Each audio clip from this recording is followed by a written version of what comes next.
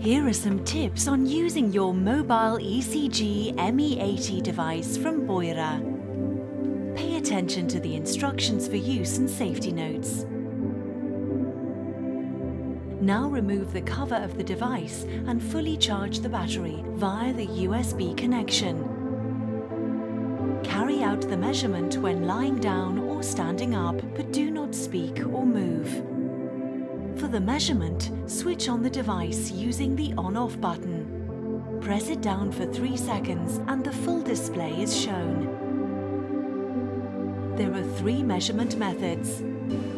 For method A, place your right index finger on the upper electrodes and hold the device vertically in your hand. Position the device by placing it in front of your armpit downwards, up to approximately 10 centimeters above the lowest rib on the left side. Position the lower electrode and lightly press it against your chest until you hear or feel a click. Important, do not press the device too firmly against your skin. The device begins to beep and the number display flashes for one second. The measurement has started. Electrode should not be removed until the measurement is finished.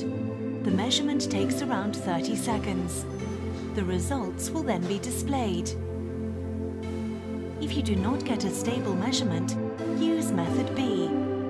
For method B, place your left index finger on the two upper electrodes. There is also the option of using method C, which may be more suitable for you. Place the right index finger on the two upper electrodes and the left on the lower electrode. You can transfer the recorded ECG data to your PC laptop using the integrated USB connection. The supplied Beurer ECG Manager software evaluates the data.